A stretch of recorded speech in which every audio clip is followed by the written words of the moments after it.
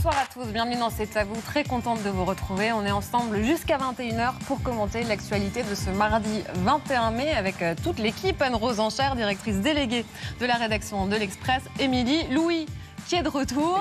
Eh Et, Laurent, bonsoir à tous les quatre. Bonsoir, Émilie, quel est votre choix de l'actu du jour? Bah, La grève à la SNCF aujourd'hui en région parisienne. Il y avait aussi la grève des aéroports de Paris. Encore, vont dire euh, certains. Alors, est-ce qu'à l'approche des JO, on est face à un droit légitime de la grève ou est-ce qu'on est face à un chantage à la grève, comme le dénoncent certains? On posera la question tout à l'heure à Nicolas Bétou, fondateur et directeur du journal L'Opinion. Anne, votre édito. Oui, alors hier, le procureur de la Cour pénale internationale a annoncé avoir soumis une requête de mandat d'arrêt à l'encontre du Premier ministre israélien Benjamin Netanyahou, de son ministre de la Défense et de trois dirigeants du Hamas. Je reviendrai sur les réactions qui ont suivi ce coup de tonnerre. C'est un des sujets que nous allons aborder avec notre invité. Bonsoir Raïm Corsia, merci beaucoup de venir nous voir ce soir. Vous êtes grand rabbin de France et vous publiez comme L'espérance est violente demain aux éditions Flammarion. Louis, votre story. Je vous emmène dans les coulisses de la soirée d'adieu de Kylian Mbappé hier à Paris. Sa mère a presque dévoilé son futur club. Vous l'entendrez dans la story. Ah, quel Non, j'étais pas invité.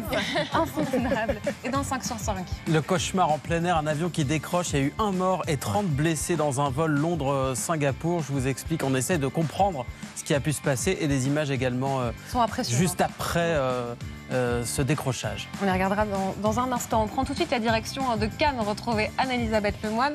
Bonsoir Babette. Bonsoir Aurélie. Il y a du vent. Il y a du vent à Cannes et j'espère que ça ne va pas éteindre la flamme olympique qui est ce soir notre invitée, elle qui vient de monter les marches du Palais des Festivals. Eh bien, elle sera ce soir sur le plateau de C'est à vous avec le patron des JO, Tony Estanguet, et la triple championne olympique Marie-Josée Pérec, euh, Gary Holman, David Cronenberg, Vincent Cassel seront également nos invités. Et j'espère que je ne vais pas m'envoler d'ici tout à l'heure. On espère. Bonne aussi. émission. Merci beaucoup Babette. À tout à l'heure, 20h. Les réactions sont nombreuses après la décision du procureur de la Cour pénale internationale de demander un mandat d'arrêt contre Benjamin Netanyahou et trois dirigeants du Hamas pour crimes contre l'humanité et crimes de guerre. Le Premier ministre israélien exprime sa colère d'être mis sur le même plan que le Hamas. Il qualifie même le procureur de la Cour pénale internationale d'antisémite. On en parle dans l'édito d'Anne Rosenchère.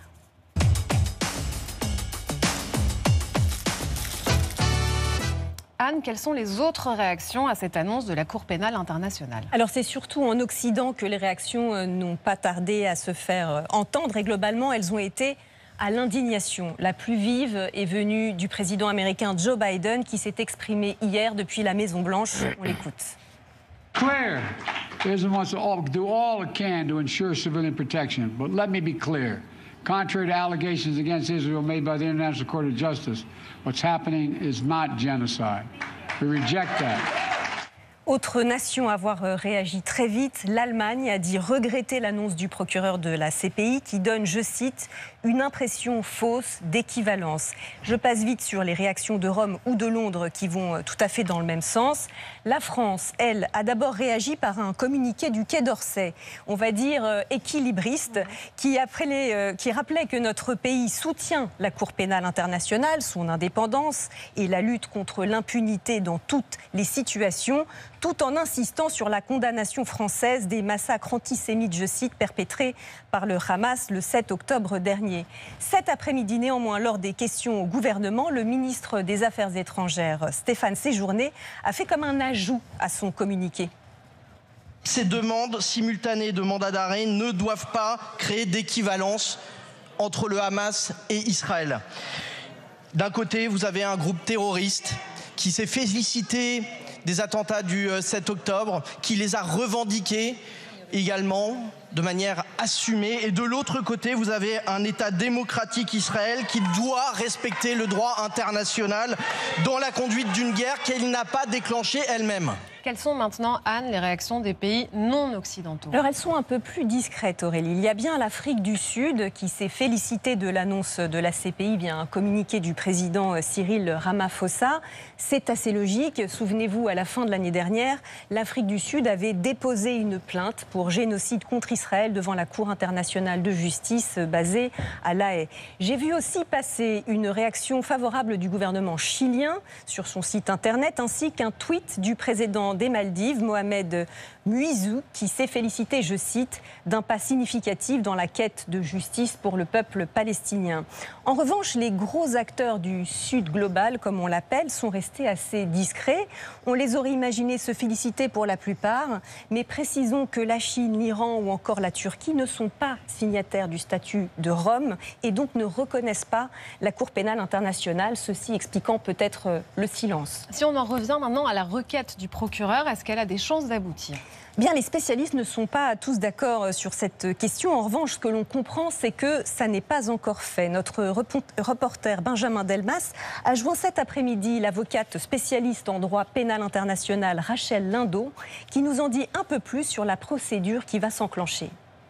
Prochaine étape, c'était le cas pour la Russie il y a un an à peu près, c'est-à-dire que dans 2-3 semaines, cette chambre préliminaire se prononcera, soit pour confirmer les mandats d'arrêt, soit pour demander, ce qui est plutôt rare, des éléments complémentaires ou même pour rejeter la demande du procureur de la Cour pénale internationale. Le plus récent, c'est Poutine, euh, qui, ça n'a pas changé grand-chose, parce que même avec un mandat d'arrêt, euh, finalement, il, a pu voyager dans ce qu'on appelle ces pays amis.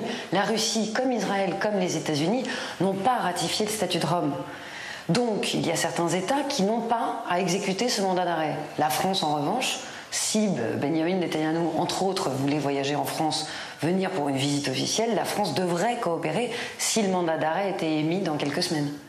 Alors, quelle que soit l'issue de cette requête, cependant, elle a d'ores et déjà produit ses effets.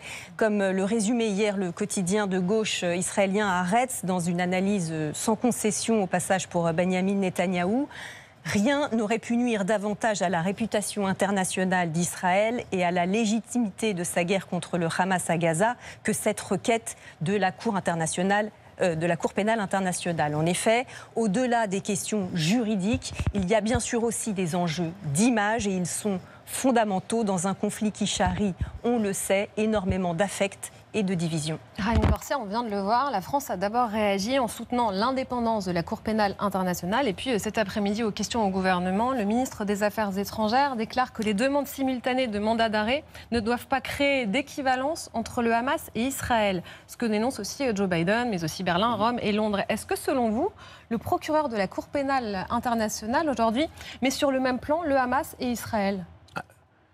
Dans sa demande, oui, il peut habiller ça comme il veut. La réalité, c'est que c'est ce qu'il semble dire. C'est pour ça que le ministre a précisé ce que tout le monde avait noté comme étant qu'une formule de politesse. Une formule qui disait dans le premier communiqué euh, bon, ben, on défend l'existence de la Cour euh, pénale internationale, mais pas cette formulation. Et dans les questions gouvernement, le ministre a précisé parce qu'il avait besoin de préciser. Et qu'on voit bien, quand vous expliquez qu'à peu près tous les pays démocratique considère quand même qu'il y a un responsable et quelqu'un et, Israël qui doit assurer sa défense. Alors après, on peut discuter. Ça, ne nous empêche pas de condamner par ailleurs euh, non, si on en vit, ce qui n'est pas le cas. il faudrait aussi voir. J'ai beaucoup échangé, notamment avec Bernard-Henri Lévy, par exemple, qui a documenté. Il a documenté ce que fait l'armée israélienne pour réduire le plus possible les euh, dégâts sur les civils. Et maintenant, quand il y a une guerre, on peut rien. Il y a une enquête qui est en cours, c'est-à-dire qu'il y a une enquête, le procureur euh, est aussi en train de chapeauter cette enquête et euh, il pointe notamment le fait d'affamer les civils à Gaza, etc. On va y revenir, on va aller non, dans. Affamer, affamer, bon, il peut, il peut faire une enquête, on peut faire une enquête sur ce qu'on veut. La réalité, c'est que, euh, par exemple, la question des convois alimentaires, d'après ce qu'on a vu, c'est les Israéliens mènent les convois, mais après qui les reprend dans Gaza? Et, donc, ils ne sont pas empêchés d'arriver dans Gaza, les non, humanitaires Non, ils arrivent à Gaza. Et ensuite, comment ils sont acheminés dans Gaza? C'est aussi un problème d'organisation. Je, ne dis pas que la situation est idyllique. Aucune situation de guerre n'est idyllique.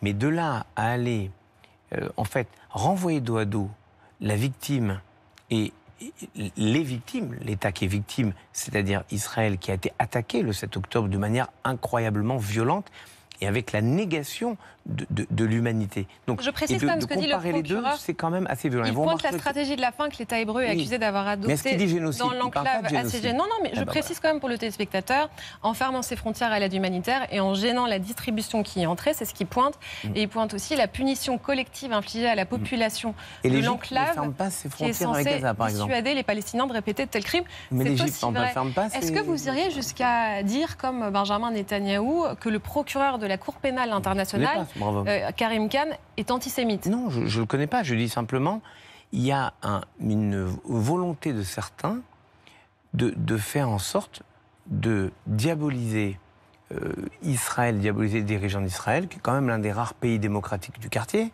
Et je me dis quand même qu'il y a d'autres pays, si on voulait vraiment mener devant la Cour pénale internationale d'autres leaders qui ont massacré leur propre population ou des populations euh, à côté, sans que ça les fasse broncher euh, de- de- du moindre, de la moindre mot, du moindre communiqué. Donc, à un moment, il faut, il faut quand même comprendre qu'il y a un deux poids deux mesures insupportable. Est-ce que vous condamnez les deux, euh, Raïm Corset Est-ce que vous condamnez à la fois euh, les violences euh, euh, d'Israël contre les civils à Gaza Mais et de- euh, l'action du Hamas?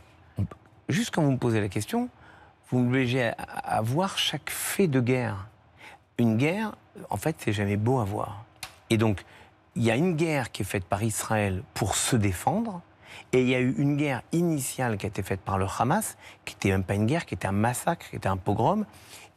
Et ces combats dont vous parlez, d'Israël, peuvent être arrêtés dans les 10 minutes si le Hamas donne les otages, et même s'il rend les corps des otages. Il ne le fait pas. Donc, à un moment, il faut juste concevoir qu'on ne peut pas mettre de manière équivalente. On peut discuter après des méthodes, et je l'entends, ça.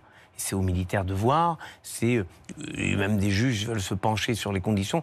Il y a peu d'armées, moi j'étais aumônier des armées.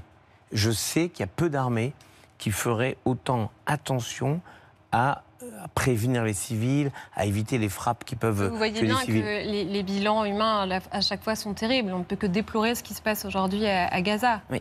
Je vous dis simplement, qui commence et qui peut, faire stopper, qui peut faire stopper la guerre? C'est le Hamas, qui refuse de rendre les otages. Donc en fait, les otages, mais c'est comme si personne n'y pensait, personne ne dit un mot. Et le, le simple fait de mettre en équivalence, en fait, le- le- les dirigeants israéliens et les dirigeants du Hamas, c'est dire en fait, tout ça c'est la même chose. Est-ce que vous dites que le droit de se défendre d'Israël est sans limite Parce que les alliés occidentaux alertent Israël en lui disant euh, attention, Mais vous aucun ne pouvez pays pas aller occidental- euh, aussi loin que Ouais, cela. Vous avez raison, mais aucun pays occidental, aucun, n'est allé dire qu'Israël se livrait à un génocide, c'est-à-dire une volonté Ce claire. n'était pas la des- question, hein. Non, mais maintenant que des pays. Le mandat disent- d'arrêt dont on parle, la demande de mandat d'arrêt qui est faite, pas encore, euh, elle est étudiée, voilà. ça peut prendre encore deux à trois semaines, on verra ce que décidera la Cour pénale internationale. Il parle de crimes de guerre et de crimes contre l'humanité. Dans votre livre, euh, Ils sont sûrs qu'ils parlent. de- non, dire, ils, ils savent ce que c'est un crime contre l'humanité? Ah. La question de crime contre l'humanité, c'est en gros nier l'humanité de celles et ceux qu'on combat. On combat pas des humains, on combat des, des schtouks, auraient dit les, les nazis. Les Israéliens préviennent, on prévient pas des, des gens qui ne sont pas humains? Les, les Israéliens organisent des couloirs humanitaires. Les Israéliens. Non mais. Mais Moi, je ne suis pas l'avocat d'Israël. Je vous dis simplement justement, cette qu'Israël enquête n'a pas à rougir de sa façon de défendre ses citoyens. Aucun pays au monde ne peut accepter ce qui s'est passé le 7 octobre sans réaction. Pour être Aucun. clair, Et clair, pardon, cette enquête est en cours, Raïm Corsia. Euh, il y a eu Voilà. ces, ces demandes de mandat d'arrêt. Il y a ce que je disais tout à l'heure, le fait de pointer la stratégie de la fin, la punition collective infligée à une population. On verra maintenant comment ces demandes seront étudiées et quelles seront les décisions prises par la Cour pénale internationale. On va ouvrir ce livre, Comme l'espérance est violente, euh, édité euh, Ah. Oui, même l'espérance est violente. chez, chez. Flammarion. Oui, et, et vous dites d'ailleurs, euh, vous reprenez le concept de guerre juste euh, du philosophe américain de gauche Michael Glaser. Euh, comment on définit aujourd'hui une guerre juste? C'est une guerre qui est décidée par un gouvernement démocratique avec des objectifs et qui a comme vocation à stopper un mal. C'est-à-dire que la guerre, qui est une situation qui est absolument pas idéale, la guerre, c'est toujours pour amener une paix après. C'est pas pour éradiquer un ennemi, celui qu'on ne veut même pas qualifier comme un autre moi. Et donc une guerre juste, c'est une guerre qui fait que personne n'a eu l'idée de traîner devant le tribunal de Nuremberg les armées qui ont fait les bombardements de Dresde. Personne.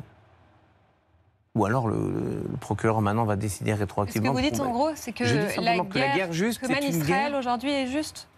C'est une guerre, honnêtement, cette guerre, non pas contre les Palestiniens, cette guerre contre le Hamas est mais une qui fait guerre. aussi des victimes civiles. Cette guerre contre le Hamas est une guerre que tous les pays, y compris les pays arabes, jugent juste. Parce que le Hamas est sorti de la conception de les- des relations avec les autres et donc interdit de pouvoir euh, plaider sa cause, sauf si euh, On on, entend être obtus. mais ce dont on parle là, ce sont les conséquences sur la situation à Gaza qu'on ne peut pas ignorer. Ce sont ces femmes, ce sont ces enfants, ce sont ces milliers de, de morts à Gaza. C'est la famine qui a été documentée par les associations humanitaires qui sont venues aussi sur ce plateau nous, nous le dire. Et le Hamas, il fait quoi? Le Hamas, il a servi la population la même, que vous avez raison de défendre. Le Hamas l'a servi depuis 2007.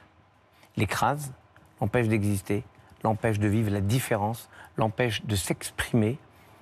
Et plutôt que de les nourrir, cette population, le Hamas construit des tunnels de guerre, appelons ça comme ça, des tunnels de guerre, dans lequel d'ailleurs il ne met pas cette population pour la protéger, dans lequel il protège les chefs et il ne fait pas. Donc en fait, à un moment, Oui, c'est comme si on disait que le le preneur d'otage a raison parce qu'après tout, il fait moins de bruit et moins de dégâts que celui qui essaie de sauver les otages. Donc, il faut juste rappeler une évidence qui fait le mal, qui vise le bien. C'est ce que j'appelle la guerre juste. Dans ce contexte, euh, on sait que c'est un débat qui polarise et euh, on le voit Oui. aussi en, en France. Comment vous avez réagi au message de la candidate La France Insoumise aux élections européennes, Rima Hassan, qui a posté sur X, alors c'était jeudi dernier, je précise, euh, on voit un drapeau palestinien accompagné de ces mots, il était là avant vous, il sera là après vous. Comment vous avez perçu ce message? En tout cas, je ne sais pas ce qu'elle fait, mais en tout cas, elle n'a jamais fait d'histoire. Euh, elle n'a jamais fait d'histoire. Parce que le drapeau euh, palestinien Je date pas, euh, c'est juste d'après la création. Mais qui est le vous pour vous? Hein, comment? Qui est le vous? Qui vous? Bah, je ne sais pas, c'est ce que je vous demande. Quand elle dit il sera là, et il était là avant vous, il sera là sera après là vous. après vous, qui est vous Je peux vous raconter une histoire mieux que son drapeau, là Allez-y. Je l'adore. C'est donc une blague, mais je l'aime bien parce qu'elle est tellement forte. C'est ça vous fait rire? Ah oui, moi ça me fait ça. c'est- C'est tellement ridicule. C'est-à-dire qu'avant vous quoi? Qui avant vous? Avant les Juifs? Donc ça veut dire qu'à un moment il y aura plus de Juifs en Israël. C'est ça qu'elle est en train de dire. D'ailleurs, c'est ce que dit son slogan de- du fleuve à la mer. Maintenant, moi je suis pas là pour faire euh, les commentaires talmudiques sur les, les, les élucubrations de X, Y, Z. Je vous dis simplement que bon, j'aurais pu vous raconter une histoire, mais le temps est passé. Non mais allez-y, c'était quoi? C'était pour illustrer votre propos Ah ouais? Mm. ça, ça m'amuse comme un petit fou. C'est il y a une négociation à un moment entre euh, les Israéliens et les Palestiniens qui discutent, et il y a un négociateur israélien qui dit écoutez, moi, avant de discuter de quoi que ce soit, je veux établir un truc. Moïse n'a pas eu le droit de rentrer en Terre Sainte. Mais il a dit, il a négocié avec Dieu de se baigner un peu dans le Jourdain. Donc il a posé ses affaires, il s'est mis à nager, il est revenu, et ses affaires avaient disparu, a été volées, c'est un Palestinien qui lui a volé. Euh, Le responsable palestinien dit Mais enfin, vous êtes fou, quoi. À l'époque, il n'y avait pas de Palestiniens. Alors l'Israélien dit Bon, maintenant, on peut commencer à négocier. On commence avant quoi? Avant quel moment? Avant le moment où aucun Palestinien n'a revendiqué Israël et que c'était pris par les Jordaniens? Au départ, c'était les Jordaniens. C'est en 1988 que la Jordanie dit Ok, on n'en veut pas. Maintenant, les Israéliens n'ont jamais dit qu'il fallait pas qu'il y ait de Palestiniens dans ce qui s'appelle Israël. Jamais. Ils ont d'ailleurs, si je me rappelle bien, rendu en 2005 Gaza. Pour en faire quoi? Raïm Corsia, en France, le nombre d'actes antisémites continue d'augmenter. Sur les trois premiers mois de l'année 2024, on en a recensé 300 de plus que l'an dernier à la même époque. Vendredi, la Non, synagogue. 300%. Oui, 300%. 300%, pardon, 300%. Vendredi, la synagogue de Rouen était incendiée. Vous étiez ce dimanche sur place pour apporter votre soutien à, à la communauté juive. Comment on fait pour lutter de façon efficace contre l'antisémitisme? D'abord, on note un soutien formidable de beaucoup dans la population. Je, suis allé à Rouen, vous le rappelez, il y avait des fleurs devant la porte, il y avait des personnes, quand j'étais là-bas, qui sont allées, qui sont venues, qui ont, qui ont remercié les policiers de protéger la synagogue. C'était bouleversant. Des gens viennent remercier les policiers de s'impliquer, d'être là. Et, et moi, je vous dis, c'est la même chose devant les églises, devant les temples, devant les mosquées. En fait, quand les policiers défendent un lieu de culte, ils défendent un lieu de la République. Ils défendent la capacité pour les uns les autres de croire, de ne pas croire, de pratiquer, de ne pas pratiquer. Ils défendent les écoles, ils défendent nos rues, ils défendent la vie, ils défendent. Et donc, il faut rendre hommage à l'engagement des forces de l'ordre. Et donc, il y a toute la République, tout l'État, la puissance de l'État se met au service. Est-ce que vous êtes inquiet? Parce que pour euh, prolonger ce que dit Louis, euh, le Parisien rapporte aujourd'hui qu'un homme a été interpellé après avoir rôdé avec deux armes à feu près de la synagogue d'Evry vendredi soir. Il a été interpellé le lendemain avec un couteau. Est-ce que ça vous inquiète de voir qu'il y a de plus en plus d'attaques euh, autour des synagogues ou dedans? Disons les, les choses. Quand il y a un événement, il y a ce qu'on appelle l'effet réplique. Par exemple, euh, il y a eu là, en France, un centre communautaire où il y a eu une tentative d'incendie de la porte avec des tags sur la porte. Bien, là, euh, aujourd'hui. Donc, on sait qu'il y a cet effet réplique. Mais la réponse de l'État a été, comme l'avait dit un jour le ministre de l'Intérieur, foudroyante. Donc, il y a aussi cette mobilisation de tous. Moi, je, crois que la pire des choses dans l'intimité, vous aurez raison de rappeler les chiffres, c'est le sentiment d'indifférence de la population autour. Et quand il n'y a pas ce sentiment d'indifférence, qu'il y a vraiment une fraternité, c'est la plus belle des réponses. Collectivement, on n'accepte pas que quelqu'un se fasse attaquer en disant bah, tant mieux, il prend lui, on ne prendra pas nous. Quand il y a collectivement le sentiment que quiconque est attaqué dans la République, c'est nous-mêmes qui sommes attaqués, alors ça s'appelle la République, elle est belle. Et, je, pense que c'est ça ce que moi j'appelle la violence de l'espérance, c'est que c'est plus confortable de dire bon, il y a des paratonnerres qui prennent des coups, tant que moi je suis pas visé, c'est pas grave. La réalité, c'est que il faut se faire violence pour dire mais non, s'il est attaqué, c'est que je suis ou je serai très prochainement attaqué. Euh, Dans votre livre, vous appelez à la sagesse et à, la raison pour une stabilité euh, euh, mondiale. Est-ce qu'elle est réaliste, cette image de stabilité mondiale, quand on voit que tout va vite, que tout le monde réagit sur les réseaux sociaux Vous-même, grand rabbin, vous êtes obligé de réagir à l'actualité sur les réseaux sociaux? Vous parlez à un moment de cette image de stabilité qui ne doit pas être virtuelle, ni utopique, ni générée par une intelligence artificielle. Est-ce que tout ça, ça vous, fait peur? Est-ce que ça va trop vite? Je pense que la stabilité est une utopie. La réalité, c'est qu'il y a une sorte d'équilibre où chaque chose tient les autres choses et qu'en fait, c'est comme une clé de voûte dans une église gothique où vous avez des pressions diverses qui créent un équilibre. Euh, et notre monde est comme ça. On est tous interdépendants. On croit que on peut euh, s'amuser dans notre coin, faire du bien ou du mal dans notre coin, ça n'a aucun impact sur les autres. C'est faux. Le Talmud raconte une histoire merveilleuse. Raconte qu'il y avait quelqu'un sur un bateau qui se met à faire un trou sous son siège. Alors les autres lui disent Mais enfin, t'es malade? Il dit quoi? C'est ma place. Je fais ce que je veux. Espèce d'idiot qui est. Si tu creuses un trou sous ton siège, c'est tout le bateau qui coule.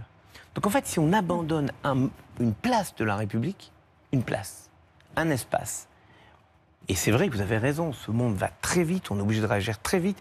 Et vous remarquez que moi, j'essaye de ne pas céder à cette pression. Notamment, par exemple, il y a eu euh, ces mains rouges sur le mur des justes qui nous ont choqués. Alors on apprend aujourd'hui, c'est le canard enchaîné, que, ce serait, que c'est la Russie apparemment qui est derrière euh, cette opération. C'est le canard enchaîné qui le révèle aujourd'hui. Moi, je ne sais pas. Ce que je savais, c'est que je ne savais pas. Et que je pense qu'il faut beaucoup plus de prudence Hmm. dans nos réactions. Tant que je ne sais pas, je n'en parle pas. Alors, humainement, j'ai été choqué, mais je peux accuser ni un groupe, ni une idée, ni une idéologie. Oui, c'est une leçon. Moi, j'ai dit, rappelez, enfin, rappelez-vous pour les étoiles bleues, C'est la même chose. j'avais dit aussi attention, je ne sais pas, une étoile violente, elle est jaune, elle est noire, elle n'est pas bleue. On attend de voir. Grand-mère m'en a pris. Vous avez raison. Je pense qu'on va trop vite dans nos, élans. Les seuls qui doivent aller vite sont les, les, les coureurs, les, les athlètes des Jeux Olympiques que vous, allez recevoir même- tout à l'heure. Vous oui. allez recevoir Marie-Jo Pérec. Oui, Demandez-lui qu'elle accepte, enfin elle a accepté déjà, mais parce qu'elle elle sera la marraine, elle sera la marraine du souvenir français euh, pour cette année olympique. Donc on en est très fiers, elle est Euh, formidable. on demandera à Babette de lui transmettre. Voilà. Et c'est vrai que vous proposez même, euh, pour qu'on ralentisse le rythme, un Shabbat numérique le dimanche. On conseille vraiment de lire ce livre comme L'espérance est violente, qui résonne particulièrement dans l'époque que nous traversons. Vous proposez une voie pour ne pas désespérer d'un monde de plus en plus fracturé. Vous restez avec nous, on passe à l'autre dossier du jour. À deux mois de la cérémonie d'ouverture des Jeux Olympiques, à combien s'élève la facture sociale? Est-ce qu'elle est euh, trop élevée? On va poser la question dans un instant à Nicolas Bétou de l'opinion. Vous l'avez vu, il y avait une grève aujourd'hui à la SNCF. Euh, Le trafic était fortement perturbé dans les transports en commun en Ile-de-France. Grève aussi euh, chez ADP, aéroport de Paris, à chaque fois pour obtenir des primes à l'approche des Jeux Olympiques.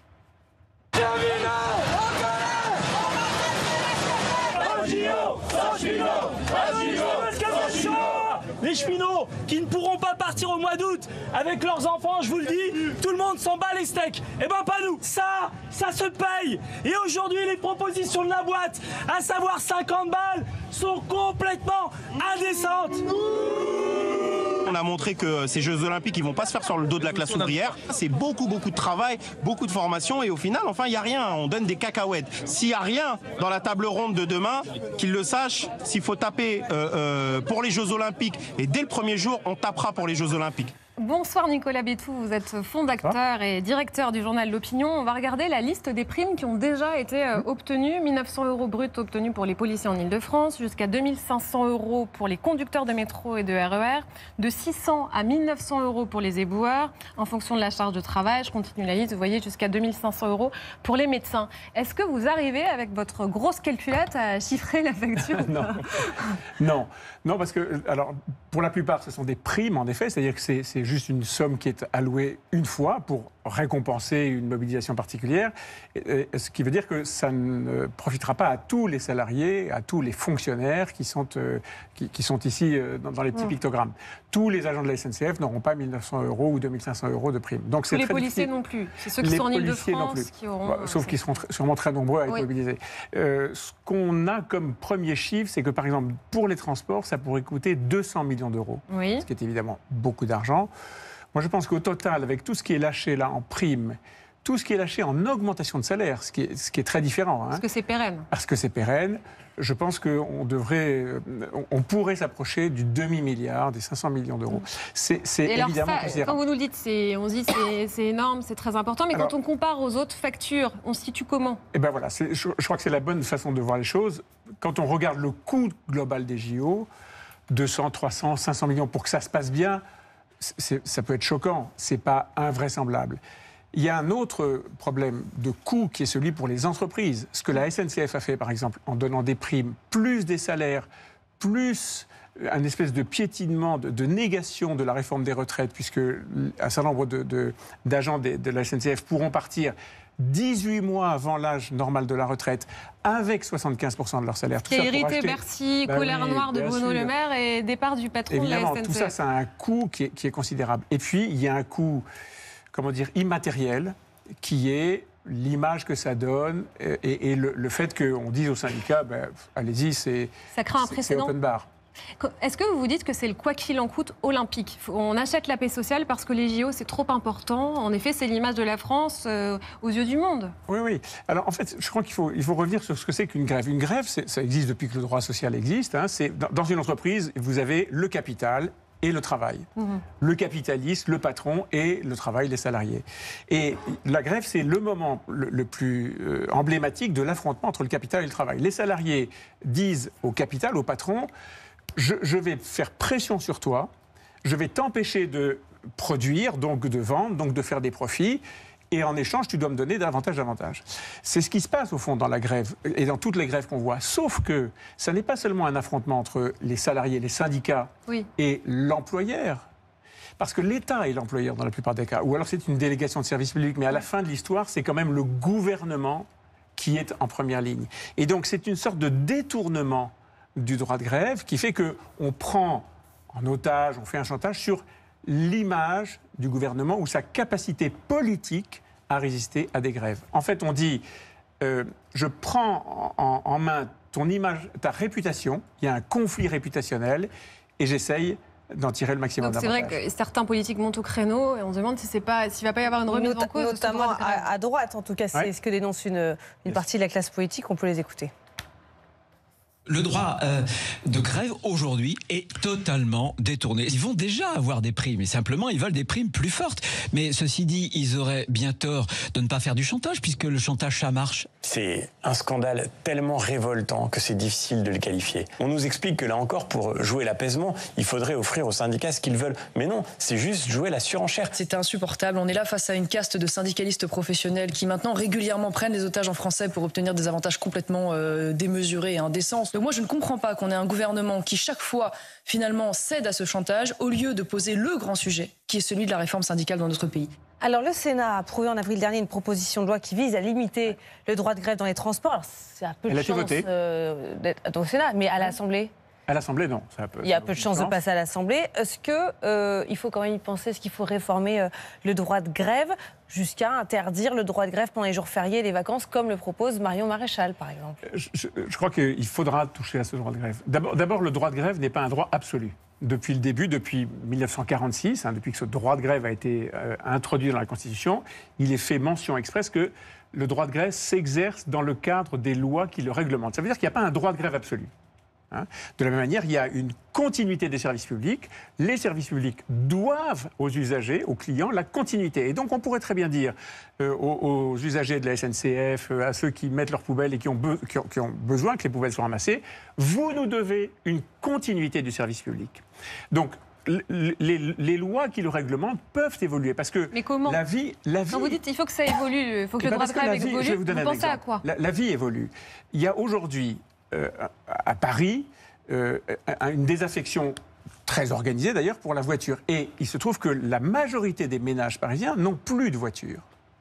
L'impact d'une grève le jour du départ en vacances de gens qui ne peuvent pas prendre leur voiture de substitution est beaucoup plus important aujourd'hui qu'il ne l'était il y a le 20, principe 30 de ou la 50 grève, ans. c'est le rapport de force, Nicolas Oui, mais quand il est Euh, déséquilibré, quand il est totalement déséquilibré, justement en prenant en main le- la, ré- la réputation, c'est une grève réputationnelle contre le gouvernement qui est, qui est faible politiquement, alors il faut le réglementer. Et donc, que dit le Sénat? Il dit il y a des jours qui devraient être sanctuarisés parce qu'on peut faire grève 350 jours de l'année, mais pas les jours de Mais grand là, départ. on est ou dans de- une période exceptionnelle. Le déséquilibre, il est Je- provoqué je- par je les Jeux Olympiques. Oui, oui. Et quand il y a des grands événements, la, la réputation, l'image de la France ne devrait pas être au fond, l'otage. À Londres, c'était la même chose, vous vous en C'était souvenez la même Grève chose. dans les métros, la une enveloppe chose. énorme qui avait été Mais je vous rappelle quand débloquée même, par le je vous rappelle quand même que c'est une grande spécialité française et qu'en 2005, 7 milliards et peut-être vous vous en souvenez, en 2005, le, le comité olympique international était à Paris pour voir si on aurait les JO en 2012. Paris était submergé par les poubelles et bloqué par les embouteillages. Et ça n'est pas pour rien euh, dans le fait qu'on a raté les JO en 2012. On l'a compris, Nicolas Bétou, ça a été une journée compliquée en Ile-de-France pour les usagers des transports publics, journée noire sur plusieurs lignes de RER, sur les trains de banlieue. faut ajouter certaines stations de métro fermées pour travaux, des axes routiers déjà coupés. Bref, à 66 jours de la cérémonie d'ouverture, certains n'en peuvent déjà plus. Ah, C'était blindé, enfin, il y avait beaucoup de monde. hein. C'est leur seul moyen de se faire euh, entendre. Je peux comprendre, mais bon, nous, ça nous embête aussi. hein. C'est peut-être un peu facile de- d'utiliser euh, les JO comme euh, moyen euh, d'action. Tout le monde s'y met, quoi. Tout le monde, tout le monde demande des, des sous en plus. euh, et Il n'y a plus de sous nulle part. Moi aussi, je travaillais pendant les JO et j'ai pas de prime et j'ai pas de grève. Qui demande une prime, euh, pourquoi pas Mais euh, nous, nous bloquer en tant que voyageurs, euh, je- enfin, euh, c'est c'est usant à force. Des perturbations sur les rails, donc, mais aussi des embouteillages sur les routes. 480 km de bouchons en Ile-de-France. Est-ce qu'ils ont un coût aussi, ces embouteillages? Oui, il y, a- un coût immatériel, là encore je reprends mon terme, et qui est lié au fait à l'organisation de- des JO et au fait qu'aujourd'hui on ne peut plus circuler du tout dans Paris. Enfin c'est hallucinant. Moi je suis venu en moto. Il y, a, des endroits où on ne peut pas passer. Donc, on- j'ai fait un énorme détour pour arriver dans votre studio. Et je pense que ce coût immatériel, c'est que les Parisiens qui déjà quittent la capitale vont de plus en plus être découragés. Il n'y a, pas- il y a pas de secret. Je veux dire, si, si une ville est hostile, agressive, parce que les gens dans les, embouteil- dans les embouteillages sont hostiles, agressifs, il y, a, il y a une nervosité qui est insensée, ça se paye pas par des décisions immédiates, mais à la rentrée prochaine, euh, bah, il y aura des, des classes qui seront pas là, qui seront, qui seront fermées, bah, on ira ailleurs.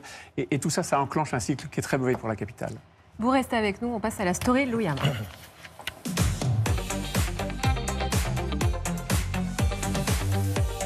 Vous avez choisi de nous parler de la soirée d'adieu de Kylian Mbappé. C'était hier, en présence de 250 invités au restaurant italien Gigi, établissement de la célèbre avenue Montaigne, où Kylian Mbappé a ses habitudes. Presque tous ses coéquipiers étaient là. On a vu notamment les champions du monde 2018, Ousmane Dembélé, Lucas Hernandez ou Presnel Kimpembe, mais pas le président du PSG, Nasser El Khelaifi, en conflit ouvert avec son attaquant depuis qu'il a annoncé son départ. Un autre président n'était pas là non plus, celui de la République, Emmanuel Macron, qui pourtant était invité. Très peu d'images ont filtré de cette petite sauterie, mais regardez quand même ces quelques secondes du discours prononcé devant ses proches par Kylian Mbappé. Parler avec les cœurs, voilà. Ici, on est en, famille. Tous les gens qui sont ici, je les considère comme des, comme des êtres chers, donc ça va être facile de parler et, d'ouvrir mon cœur à tout le monde. Il n'y a aucun message à faire passer, aucun, aucune ambiguïté à donner. C'est vraiment des gens que j'ai envie de remercier du plus profond du cœur. à l'extérieur. Au fil de la soirée et des infos diffusées sur les réseaux sociaux, des dizaines de fans se sont massés devant le restaurant jusqu'à la sortie de la star, juste avant minuit et demi. Mbappé fend la foule et se fend de quelques selfies. Il y en a qui se sont couchés très heureux hier soir. Décalez-vous, décalez-vous.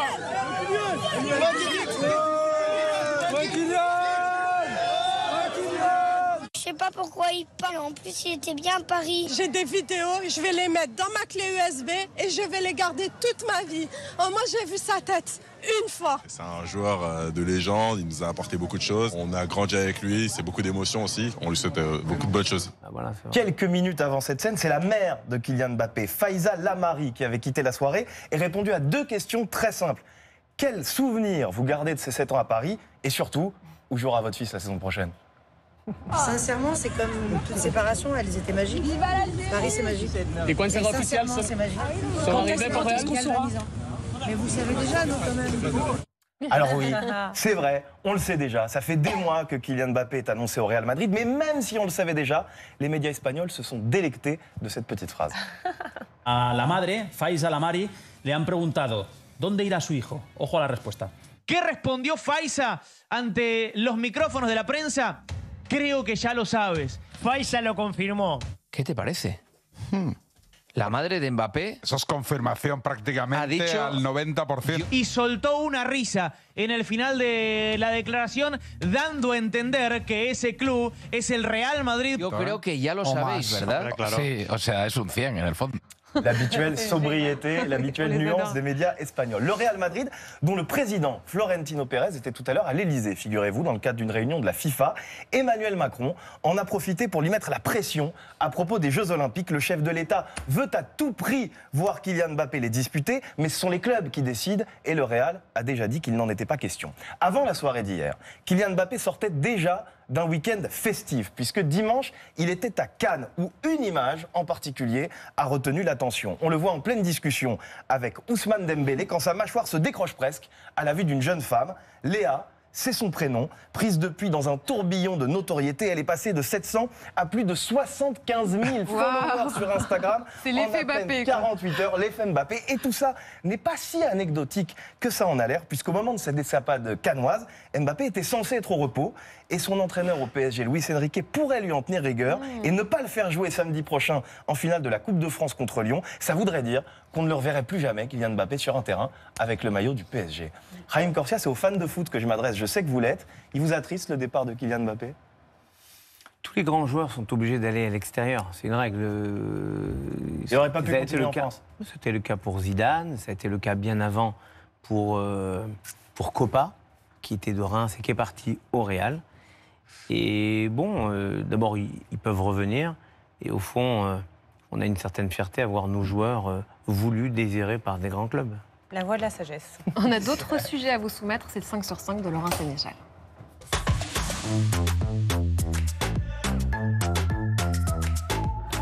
Rebonsoir Laurent, on commence par ce cauchemar dans un avion. Un Britannique de 73 ans est mort d'un arrêt cardiaque. 30 blessés en tout à cause d'un trou d'air, manifestement, des turbulences très violentes sur un vol Londres-Singapour. Voici l'état de la cabine une fois euh, l'avion atterri, une fois évacué. On imagine ce qu'ont traversé les, les 229 pas- personnes à bord. L'avion a atterri en urgence à Bangkok, en Thaïlande. Il est descendu de 1800 mètres en quelques minutes, mais c'était vraisemblablement une manœuvre volontaire du pilote pour quitter la zone de turbulence. C'est ce que pense Xavier Titelman, consultant aéronautique pour le magazine Air Cosmos. Il parle à, à Salomé Delattre et Oran Haas d'un événement très rare.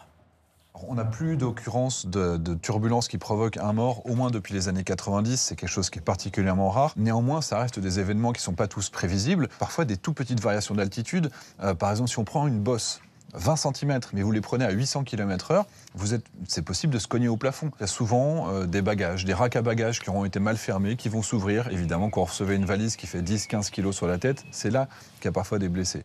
Oui, c'est du jamais vu depuis les années 90, c'est ce qu'il dit. Des images montrent aussi euh, les évacuations.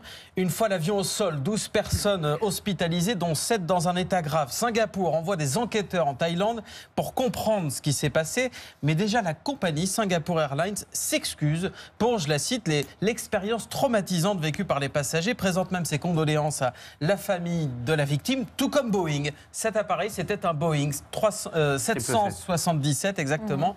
L'avionneur qui est dans la tourmente euh, après de nombreux incidents, notamment cette porte perdue en plein vol sur un 737 cette fois. Euh, Nicolas Bétou, là on verra ce que va dire l'enquête. À ce stade, rien n'indique que l'appareil a eu un problème euh, ou une défaillance technique, mais c'est encore un Boeing. Et ça, c'est un problème pour l'avionneur américain. Ah, c'est un problème pour l'avionneur qui traverse une, période épouvantable. Son patron vient d'être renouvelé et, ses émoluments ont été acceptés. Si, si je, je voulais faire le mauvais esprit, je dirais qu'au fond, si Boeing a effectivement traversé de telles turbulences, si cet appareil a traversé de telles turbulences sans casse, ça pourrait même faire une bonne publicité euh, et à revers de tout ce qui s'est passé lorsque des portes étaient perdues et, et des, et des instruments ne fonctionnaient pas. Donc ça prouve, si vraiment ça a été un phénomène météo, disons, d'une très grande violence, ça prouve que bah, la plupart des avions sont quand même très Mais solides. c'est terrible quand même, il y a un homme qui est mort, un Britannique. Alors, de euh, crise cardiaque. hein, euh, oui, de crise cardiaque. Non, mais ça a dû être très, C'est très violent. hein, c'est- enfin, de- quiconque a, a- a traversé euh, des zones de turbulence en avion, comme la plupart de ceux qui prennent un avion de ligne, ça arrive, euh, ça bouge pas beaucoup et ça fait déjà très peur. Donc Les là, ça a dû être 777 très, très des violent. avions assez, modèles assez anciens, mais qui ont très bonne réputation. Très bonne, absolument. On va maintenant. Avec le dérèglement climatique, les turbulences vont être de plus en plus violentes. euh, Oui, il y a de nouveaux avions avec des bouts des ailes pliantes pour justement pouvoir Ah oui, affronter des turbulences. On pourrait faire une page spéciale avion. On va maintenant en Italie. Près de 150 séismes ont été recensés dans l'agglomération de Naples. Une magnitude 4,4 au maximum. Ce ne sont donc pas des séismes très puissants, mais ils ont été très nombreux. Ils ont déclenché quelques alarmes de voitures, comme vous le voyez ou l'entendez là, et provoqué aussi parfois des bruits sourds, comme on va l'entendre.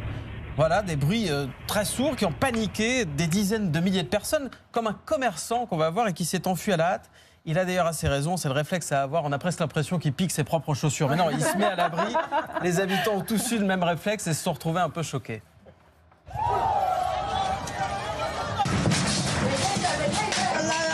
Seconda scossa abbiamo incominciato a chiamare 118, 112. Tutti i mobili si sono mossi.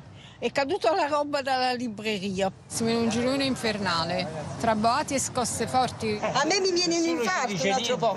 A me tremore è enorme. è caduto il quadro di mio marito. Enorme, enorme proprio. Che è morto vent'anni fa. Voilà, on laisse tomber la photo de son mari. Il y a certains magasins qui se sont retrouvés après euh, cette série de, de séismes avec tous les produits vous voyez, qui jonchaient le, le sol et même des bouteilles qui se sont euh, brisées. Les séismes se sont déclenchés en fait dans une zone qui est à l'ouest de Naples. Pourquoi je dis ça C'est important. C'est ce qu'on appelle les champs flégréens, une zone volcanique qui inquiète plus que le Vésuve qu'on connaît euh, beaucoup plus avec Pompéi, qui se situe de l'autre côté de la métropole.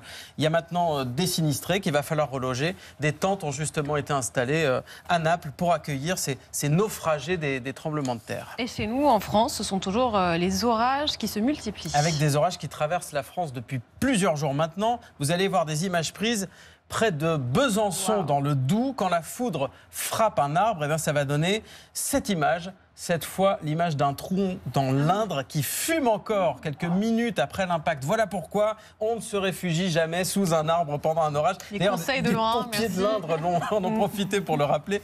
Alors des orages comme ceux-là ont, circulé vraiment partout dans le pays. Ça, ce sont des images de Bretagne. On est dans le Finistère, une ambiance de fin du monde avec ces nuages noirs qui s'amoncellent. À Paris aussi, hier, plusieurs phénomènes assez impressionnants ont traversé la capitale. Ça, c'était en journée de fortes pluies et la Tour Eiffel qui disparaît presque dans les nuages. Il y en a eu autres très impressionnants vers minuit. Et puis la grêle accompagne parfois le, le tonnerre. Là aussi, ça fait des jours que ça dure.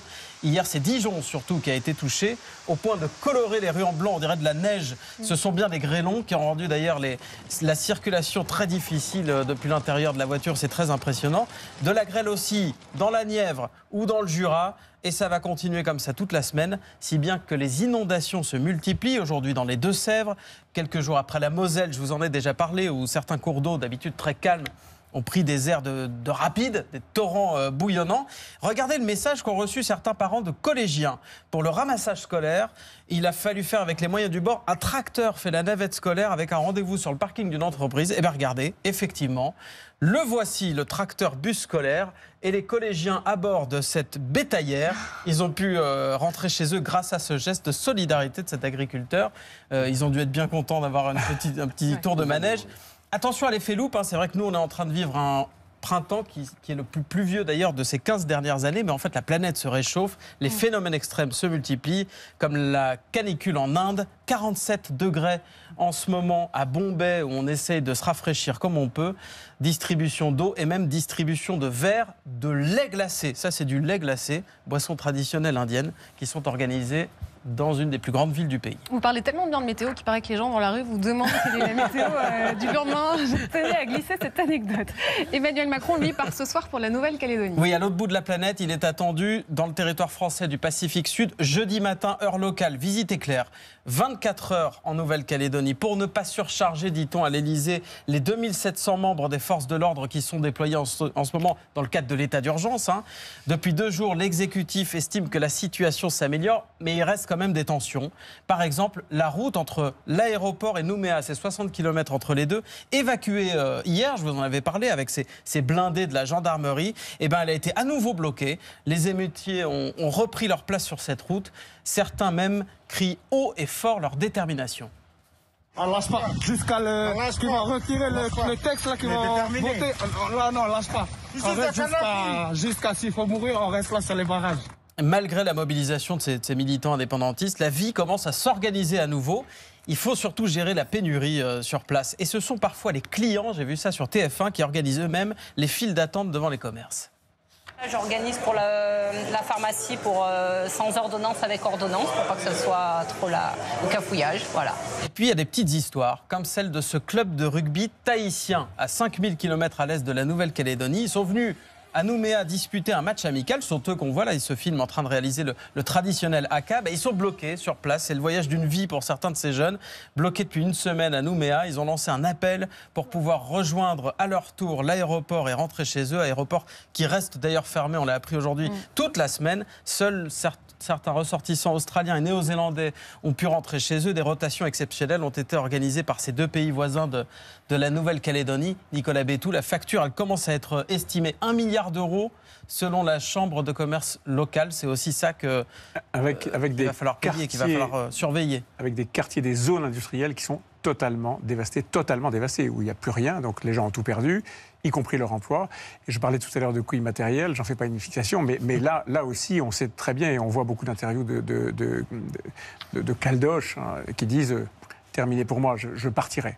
On va maintenant en Iran où la foule a salué le cortège funéraire du président. Oui, Ebrahim Raisi, qui est mort dans le crash d'un hélicoptère. Sa dépouille est transportée en ce moment à travers le pays. Le président iranien acclamé à Tabriz, là, dans le nord-ouest euh, du pays. C'est au pied du Caucase, c'est pas très loin du lieu de l'accident. Le cercueil est ensuite arrivé à l'aéroport de Téhéran. Euh, les funérailles d'Ebrahim Raisi doivent encore durer deux jours, jusqu'à jeudi. Et elles attirent donc des centaines, des dizaines de milliers de personnes à chaque fois. Ce sont des images qui tranchent avec ce dont on parlait hier, euh, Aurélie. C'est quelques manifestations de joie, euh, notamment sur les réseaux sociaux à, à l'évocation de sa mort. Non, cette fois, place à la foule. Des dizaines de milliers de personnes encore dans la ville sainte de Qom. C'est la ville de Raïssi, c'est son fief qui abrite une des plus vieilles mosquées euh, chiites au monde. Une nouvelle élection doit être organisée, euh, euh, ça sera le 28 juin prochain en Iran. Vous vouliez aussi nous parler du procès Trump qui se termine sans que l'ancien président n'ait témoigné. Oui, il a finalement renoncé, ce procès qui aura été un sacerdoce pour Donald Trump, accusé, je vous le rappelle, d'avoir payé avec l'argent de sa campagne une ex-actrice porno pour cacher une relation extra-conjugale. Il y avait du monde encore devant le tribunal tout à l'heure. Et voilà l'équipe de Trump à nouveau dans la tourmente pour cette vidéo de campagne. What happens after Donald Trump wins? Next for America? The economy booms. American energy is unleashed and an end to crushing taxes. The border is closed and the largest deportation in history is underway.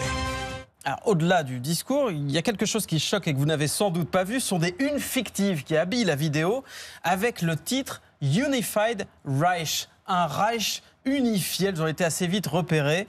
Euh, la Maison-Blanche martèle qu'il est odieux, répugnant, honteux pour qui que ce soit de promouvoir des contenus associés à l'Allemagne nazie d'Adolf Hitler. Trump, lui, continue sa campagne outrancière.